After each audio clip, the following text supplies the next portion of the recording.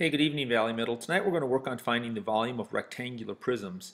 Before we do that, let's get to a fun trivia question. It relates to one of our problems. Who are these two dudes, and what is the name of their TV show? Why are they underwater?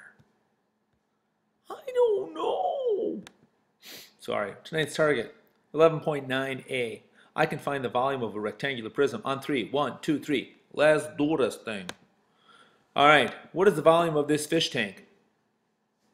I can tell you this, it's a big one. 24 feet wide, 12 feet deep or wide, and 14 feet tall.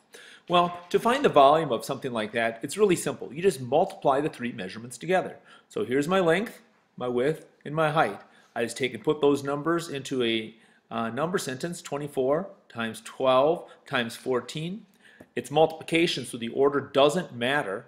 But we're using this formula here, length times width times height. So you just multiply those three numbers together. Let me grab my calculator. Uh, 24 times 12 times 14, and you get 4,032 feet. So I'm going to put that up here, grab it out of my hiding spot, 4,032 feet, and I'm done, right? Wrong. 4,032 feet cubed. If you're trying to figure out whether it's squared or cubed, you've got three measurements here. One, two, three. So it's like three feet. Feet cubed, centimeters cubed, whatever it is. For each measurement you have, for each dimension, you add an exponent. So if there's just two, like if you were just trying to find the base of this, it would be 24 times 12 there's two measurements there, so that would be squared. Two measurements, an exponent of 2, or a square. All right, let's get to the vocab for the night. Here it is, volume, the space occupied by a three-dimensional object. The volume of a rectangular prism, you can get it by multiplying the length times the width times the height, or the base times the height. And I'll talk about that at the end. It's the same thing, they just combine the length and the width. Uh, here it is, right? Cut, um, cut and pasted right out of your book. Volume equals BH, base times height, or volume equals length times width times height.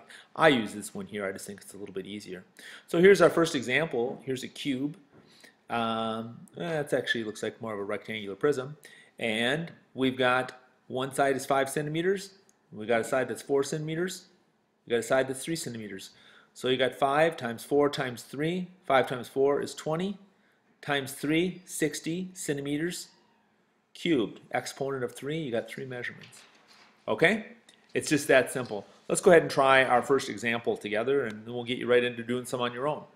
What is the volume of this rectangular prism? Well, I do the same thing. I establish my measurements, length 9.5, the depth or the width 5 meters, height 3 meters. I put them into a number sentence, 3 times 9.5 times 5 Pop that right into the calculator. This is how you would show your work on a, on a, uh, a test. You could write down these measurements and or write down this number sentence. Uh, 3, whoops, sorry about that, times 3 time, yikes, 3 times 9.5 times 5 equals 142.5.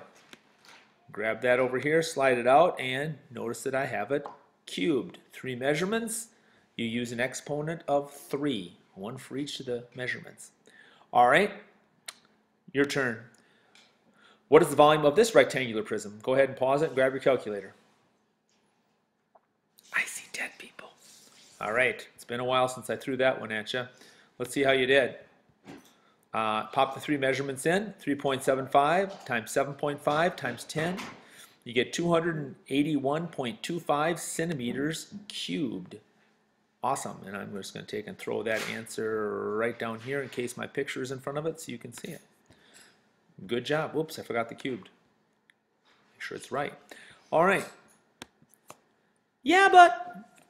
Here's a yeah, but. The first yeah, but. What happens if they throw a net at you? And say, hey, what is the volume of this prism?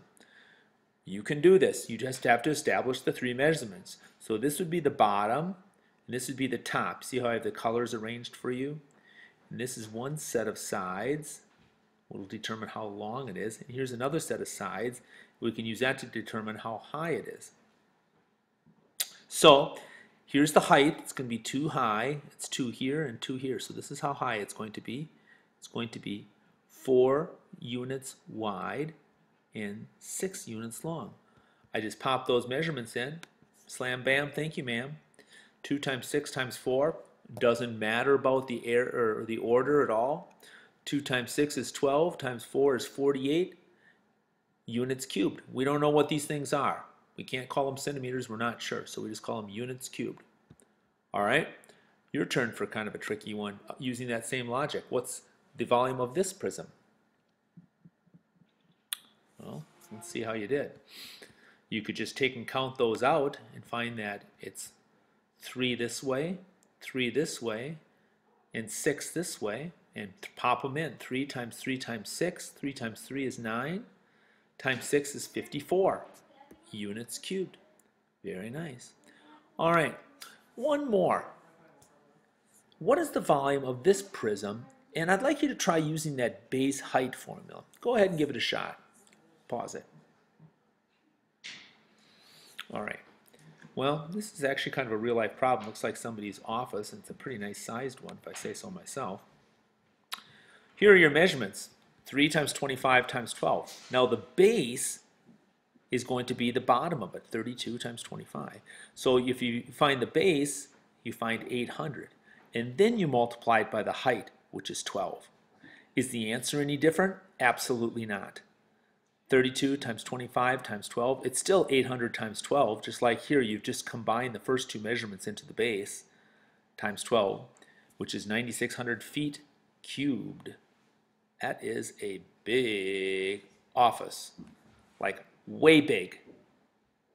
Because 800, most bedrooms are maybe, a big bedroom would be a couple hundred feet square.